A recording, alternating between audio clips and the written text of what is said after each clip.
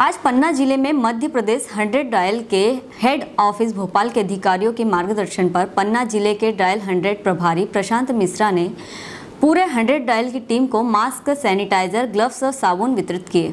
Hotel के कर्मचारी नीरज सिंह की होटल के अंदर तड़प तड़प कर मौत होने का लाइव वीडियो होटल में लगे सीसीटीवी कैमरे में कैद है।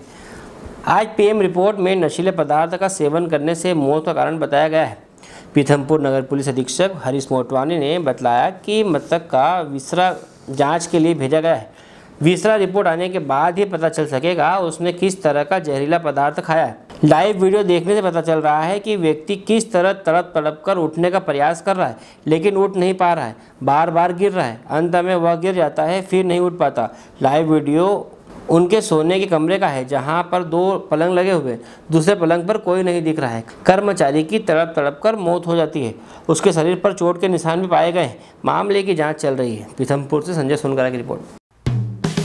हेलो फ्रेंड्स आप देख रहे हैं हमारा channel S W twenty four news हमारे सारे वीडियो सबसे पहले देखने के लिए आप हमारे चैनल को सब्सक्राइब करें और पास में लगे बेल आइकन को दबाना बिल्कुल भी ना भूलें।